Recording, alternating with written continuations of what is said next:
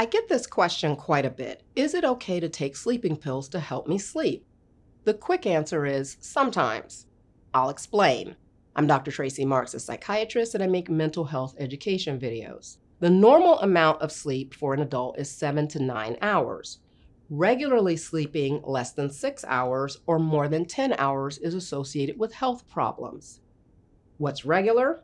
It's more days during the week than not, and more weeks of the month than not. But even having three or more days in a row of poor sleep can have immediate effects on your ability to think and focus and can cause inflammation in the body. Have you noticed that if you have a stretch of poor sleep lasting several days, you can feel run down and even get sick? That's because insomnia also compromises your immune system through the body's stress response of increasing cortisol release. Also, insomnia can worsen other medical problems like mania. Not sleeping in a person with bipolar disorder is like adding lighter fluid to a fire.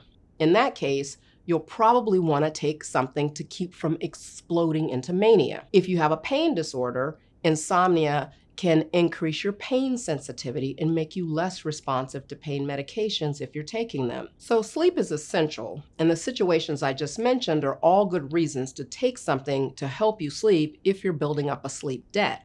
Sleep debt is a term used to refer to having consecutive nights of inadequate sleep for what your body needs. If your body needs seven hours of sleep, and you have three nights in a row of only sleeping five, you're six hours behind or have a six hour sleep debt. If you take a sleeping pill that helps you sleep for eight hours, three nights in a row, you've only made up three of the hours because you got one extra hour for three nights.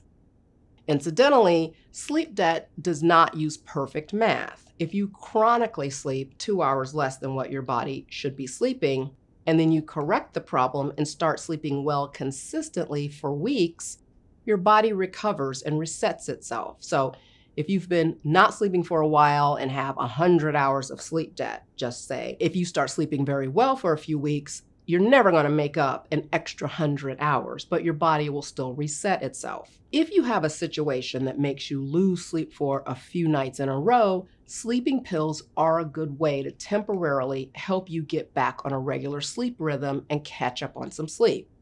But there's a downside to taking sleeping pills, especially if you take them on a regular basis. And what's regular?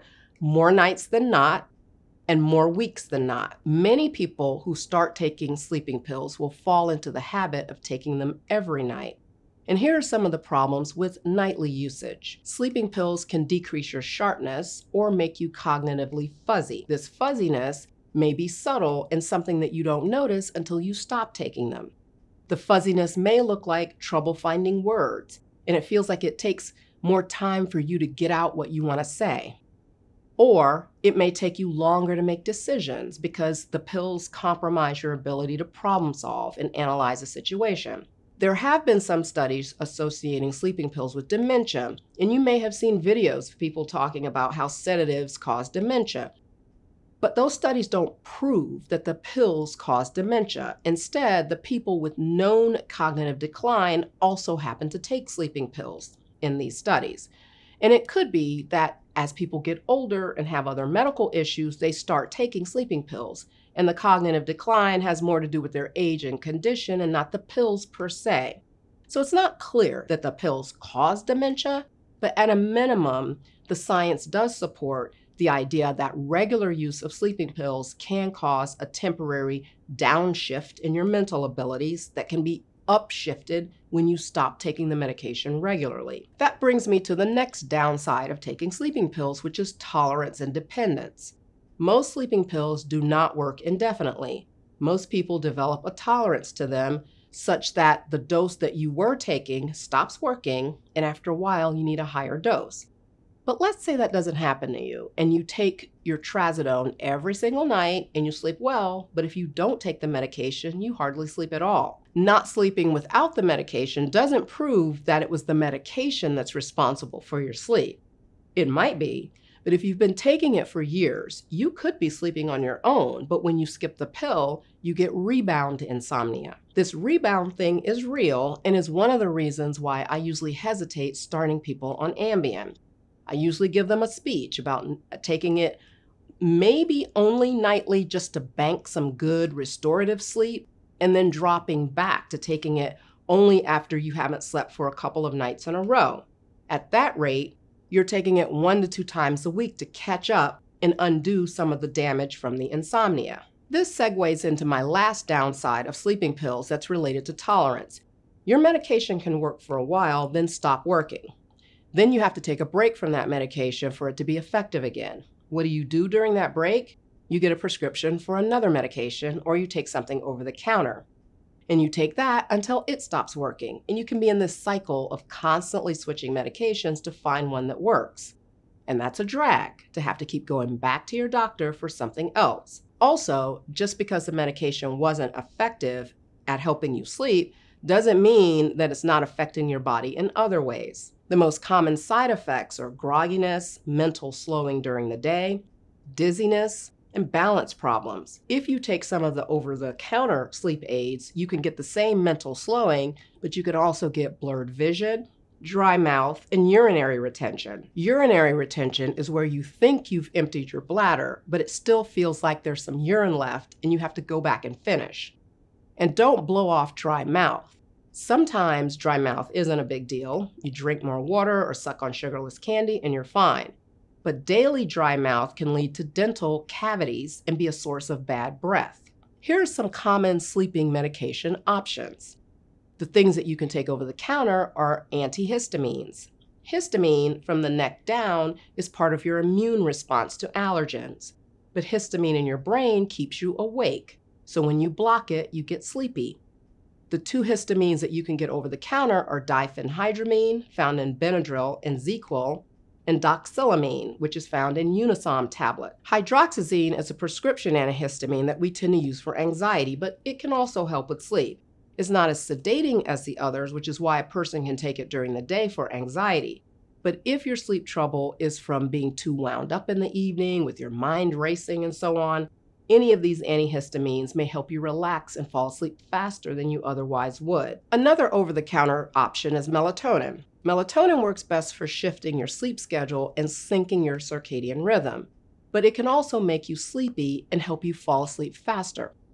Everyone responds differently to these medications, but in my experience, the slow release version of melatonin may keep you asleep a little longer. Some people will wake up after four or five hours with the immediate release melatonin tablets. And these are all medications that you can take on your own, but just because they're easily accessible doesn't mean they're harmless.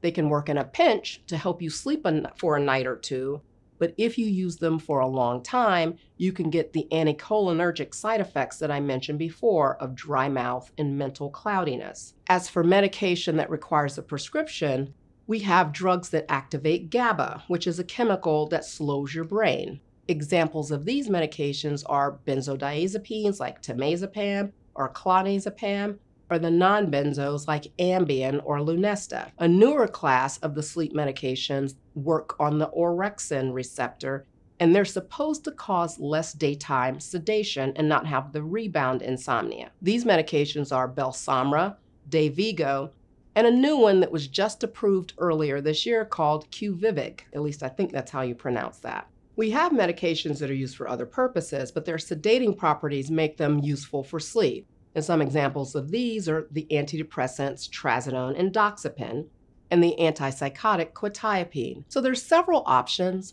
but the medications are still limited. None of these medications are perfect in the way that they work and can leave you feeling hungover in the morning or just not be effective. So, what's the final answer on should you take a sleeping pill if you're not sleeping?